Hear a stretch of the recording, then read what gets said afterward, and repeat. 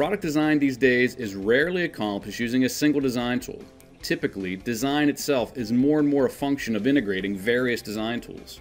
And when it comes to integrating data from multiple sources, there's no better tool to have than Inventor's AnyCAD technology. In this example, the vendor providing the motor uses PTC's Creo as their primary design tool. The Creo component is referenced in the assembly and is located using assembly constraints. As an interference exists, this reference assembly is edited locally, adding clearance cuts to accommodate the fasteners. Inventor 2018 gives you the ability to edit reference data.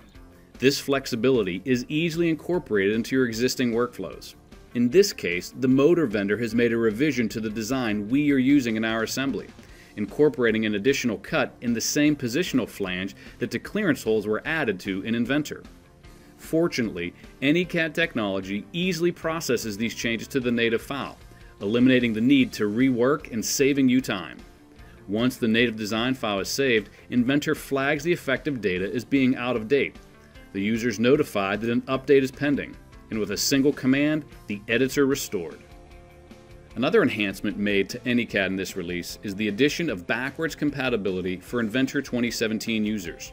The 2017.4 release of Inventor includes an AnyCAD update that will enable users to incorporate Inventor 2018 data in their Inventor 2017 design files, improving flexibility and ensuring compatibility between these two releases. And finally, expanded support for mesh geometry, typically the result of scan data, means that you have more options with regards to use of this data type in your designs.